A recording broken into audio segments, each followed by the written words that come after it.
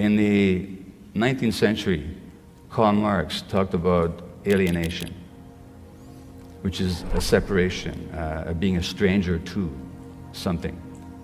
And uh, you're an alien to something. And Marx said there were four, aliena- four alienations in this culture. One is we're alienated from nature.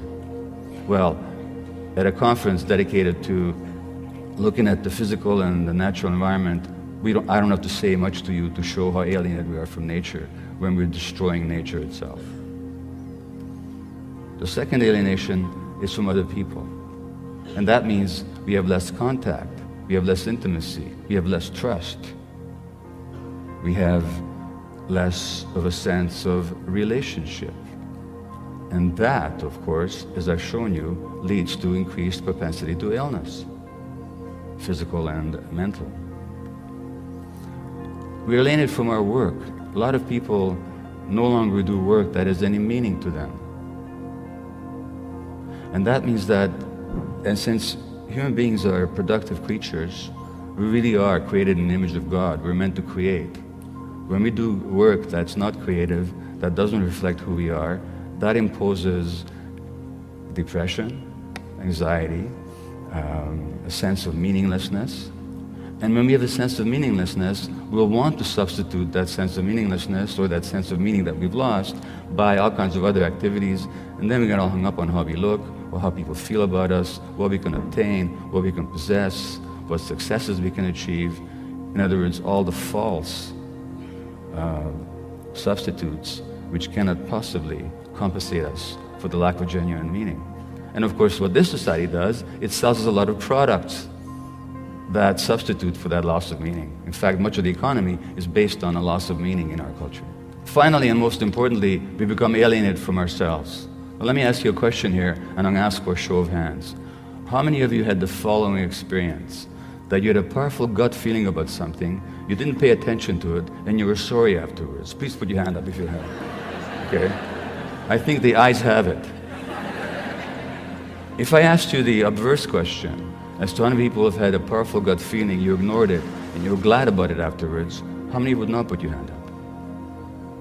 Well, I'm not sure. I'm seeing very few hands here. Well, that means to say, now you know what you're telling me? You're telling me that at some point in your childhood, you got separated from yourself. Because no infant is born without gut feelings. To- infants are totally connected to their gut feelings. Have you ever met a two day old who didn't know how to express their gut feelings?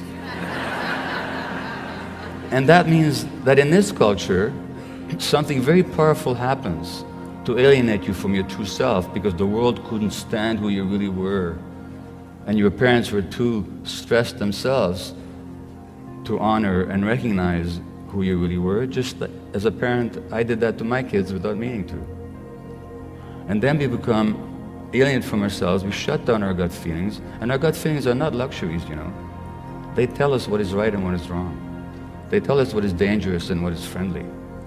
They tell us what is safe and what is dangerous. And they tell us what is true and what is false. So when we're alienated from our gut feelings, we have no longer have a sense of reality, no longer a sense of truth.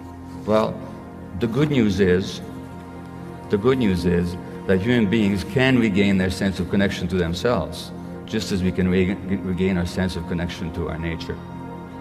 And um, empathy which is a genuine human quality, is in us. We're actually wired for empathy. Even rats are wired for empathy.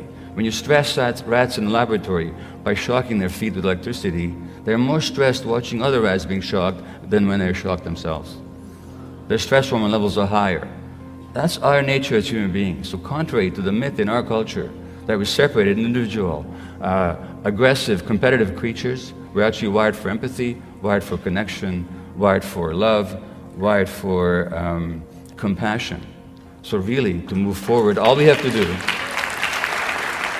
all we have to do, not an easy task, but it's certainly available to us, is to get back to our true nature. Thank you.